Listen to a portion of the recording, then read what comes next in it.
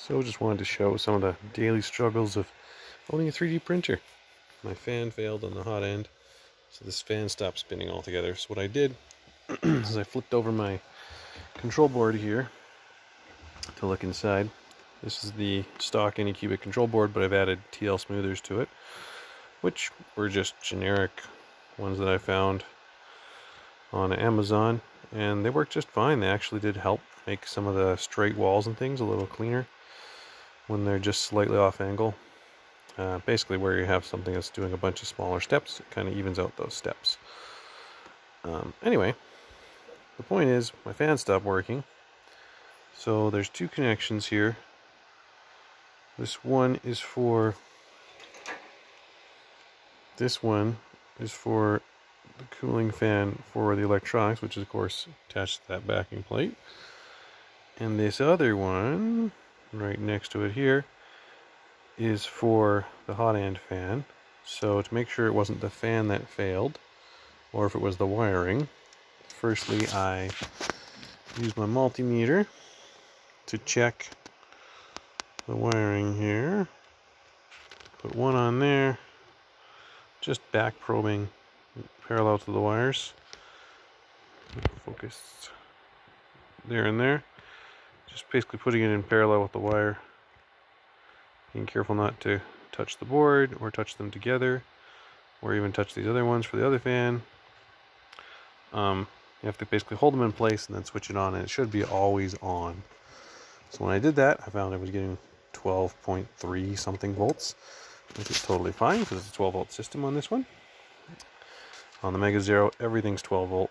There's no 24 volt anything. Um, this is the Zero with the not heated plate. This is just a cold plate, no heat. So once I found there was voltage there, then I went ahead and actually cut the wires by the fan, stripped the other end. I've lost it up the sleeve now. Anyway, I cut the wires, stripped them back, and checked to see if there was if there was voltage at the other end of the wire where I stripped it back. Um, and there was not. So the problem was in the harness.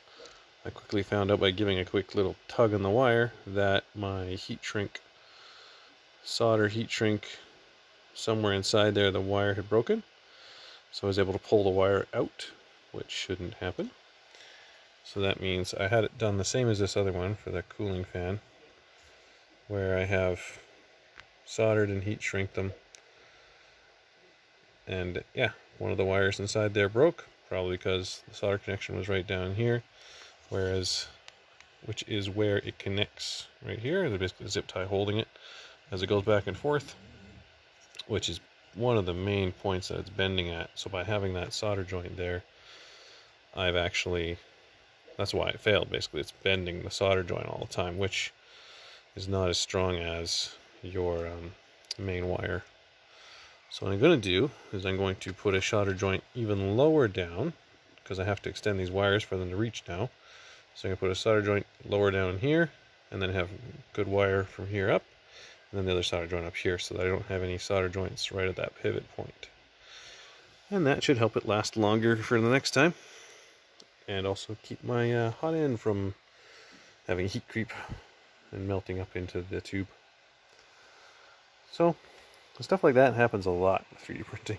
So either you got to have a expensive high-end machine and only change components by disconnecting wires and putting on new components or you got to know what you're doing with soldering and voltmeters and other things like that so yeah just part of uh, the whole 3d printing journey